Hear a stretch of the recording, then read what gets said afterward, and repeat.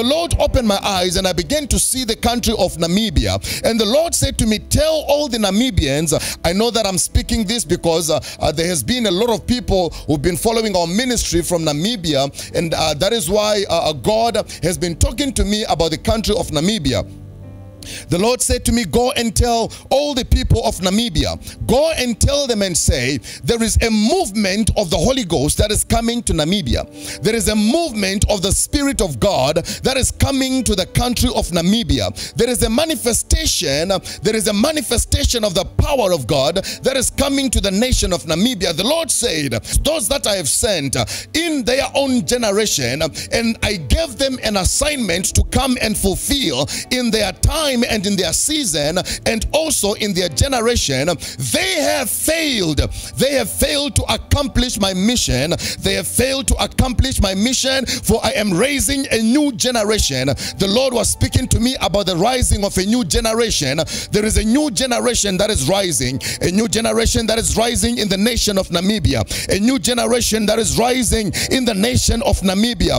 The Lord said, Those that were sent in their generation and in their time, they have failed to accomplish the mission of God. There is just a few servants of God who are still standing on the truth of the word, who are still standing on the truth of God.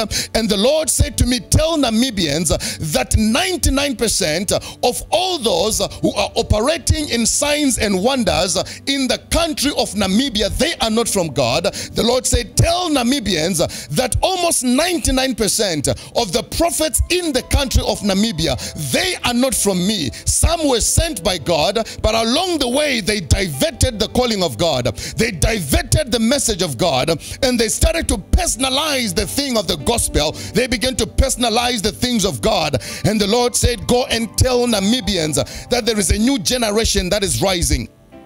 There is a new generation that is rising for those that have been sent by God, especially those who are functioning in the supernatural, those who are functioning in the prophetic ministry, those who are functioning in the miracles, signs, and wonders. The Lord said, I do not recognize them. And the Lord, I began to ask the Lord, and I said, Lord, what are you saying? And the Lord said, just a few a few weeks ago, there is a man of God who was arrested in the country of Namibia. And as the man of God was arrested in the country of Namibia, this is a prophet. And the Lord said to me, I'm going to use this one as an example of what I am about to do in the nation of Namibia. I'm going to use this prophet, I'm going to use this one as an example of what I'm about to do in the nation of Namibia. There is an exposure that is coming to Namibia. There is a new generation that is rising, a new generation that is going to move in power, a new generation that is not going to compromise the things of the Lord.